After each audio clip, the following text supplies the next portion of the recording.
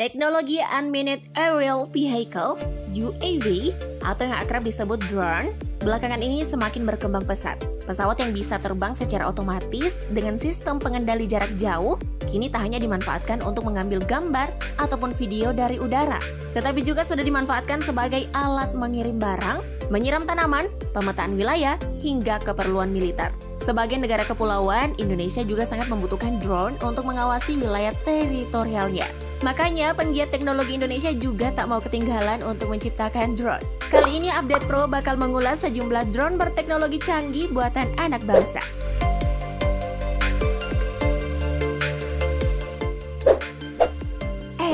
Tapi sebelum lanjut, tekan tombol subscribe-nya dulu ya, dan aktifkan lonceng notifikasimu, agar bersama kita terus berbagi info menarik dari Update Pro.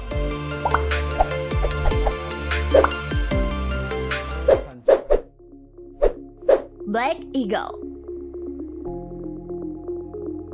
Yang terbaru adalah pesawat udara nirawak bernama Elang Hitam. Pesawat yang diperkenalkan pada Desember 2019 lalu merupakan hasil kolaborasi konsorsium Kementerian Pertahanan, TNI Angkatan Udara, Badan Pengkajian dan Penerapan Teknologi, Lembaga Penerbangan dan Antariksa Nasional, PT Dirgantara Indonesia, PT Land Industri, dan Institut Teknologi Bandung. Drone sepanjang 8,3 meter dan bentangan sayap 16 meter ini dibekali mesin Rotax yang membuatnya sanggup mengudara selama 30 jam di ketinggian 23.000 kaki dengan kecepatan maksimal 235 km per jam. Elang hitam juga dilengkapi radar SAR, Flight Control System, Auto Takeoff, Inertial Navigation System, Electro-Optics Targeting System, hingga dipersenjatai rudal. Dengan kemampuan tempur yang dimilikinya, tak salah jika elang hitam nantinya bakal beroperasi untuk menjaga kedaulatan NKRI, khususnya di wilayah terluar seperti di langit Natuna.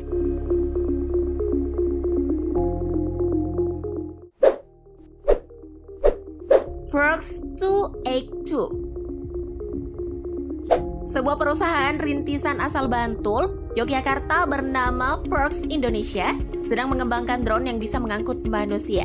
Kendaraan terbang yang disebut Frogs 282 telah diuji coba terbang di Lanut Gading, Playan Gunung Kidul, 7 Maret 2020 lalu. Saat dites, drone berpenumpang atau taksi drone tersebut hanya bisa terbang beberapa sentimeter dari atas permukaan tanah. Namun para perancangnya yakin nantinya drone tersebut mampu terbang dengan kecepatan maksimum 100 km per jam di ketinggian 2400 kaki selama 30 menit berkat bantuan 4 baling-baling dan 8 mesin. Selain itu, drone ini ditargetkan rampung Juli 2020 bakal sanggup mengangkut dua orang penumpang dengan berat maksimal 200 kg. Keunggulan lainnya adalah memiliki struktur bodi yang ramping sehingga bisa take off dan landing di area sempit.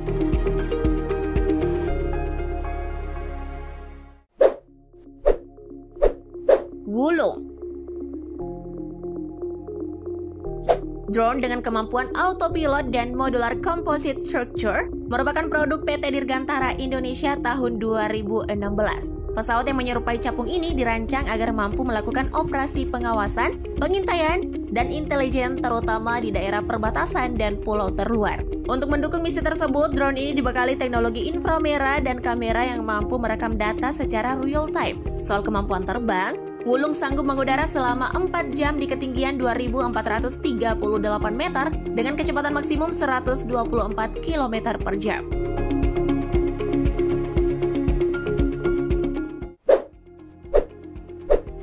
Hope Di Temanggung, Jawa Tengah, sekelompok remaja menciptakan drone untuk membantu para petani. Drone yang dinamakan Hope itu dirancang untuk melakukan penyemprotan pupuk melalui udara secara cepat dan merata. Pesawat yang dihargai 150 juta rupiah ini mampu terbang sejauh 2,5 km sambil mengangkut cairan seberat 15 liter selama 17 menit. Hope juga telah menggunakan teknologi waypoint sehingga secara otomatis bisa terbang sambil melakukan penyemprotan mengikuti titik-titik di lahan yang telah ditentukan sebelumnya. Hadirnya drone ini membuat proses penyemprotan tanaman yang tadinya satu hektar per hari bisa lebih cepat dan luas menjadi 4 hektar dalam waktu satu jam.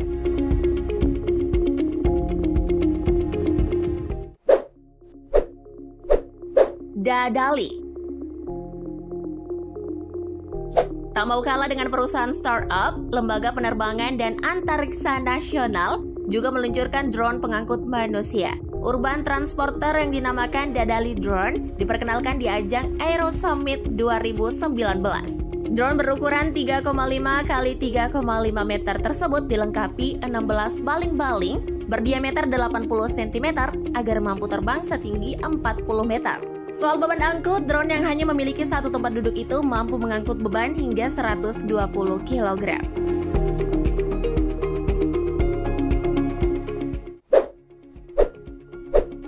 Gamma V2 Sejumlah peneliti dari Universitas Gajah Mada juga tengah mengembangkan drone amfibi. Drone yang diberi nama Amfibi Gamma V2 ini memiliki bentang sayap 2 meter dan panjang 1,35 meter.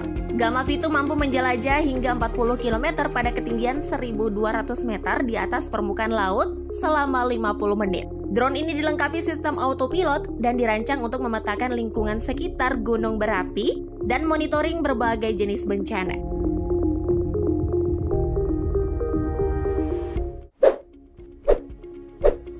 Elang Laut 25 Drone buatan PT Carita Boat Indonesia ini sudah digunakan oleh Direktorat Topografi TNI AD Berbekal mesin 3W Electronic Fuel Injection berkapasitas 170 cc, membuat elang laut 25 mampu melaju hingga kecepatan 175 km per jam selama 8 jam non-stop. Pesawat sepanjang 4 meter dan rentangan sayap 6 meter ini juga dibekali fitur-fitur canggih seperti autopilot navigation, GPS tracking satelit, CCD daylight camera, airspeed pitot tube, dan flight data recording.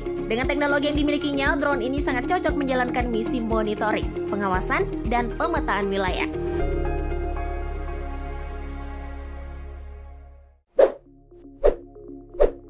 OS Wivanusa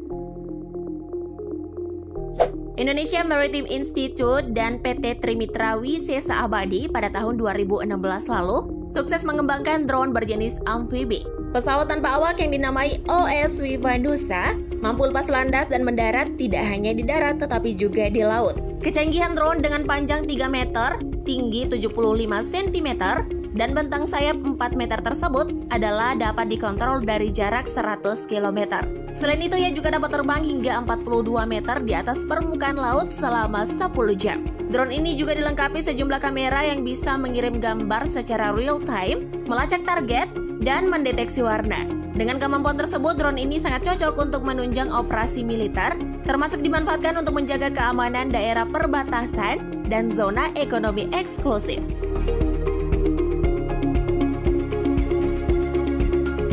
Harus diakui bahwa kecanggihan drone buatan Indonesia membuktikan jika penguasaan teknologi anak bangsa juga tak kalah hebat dibandingkan dengan negara lain. Iya kan?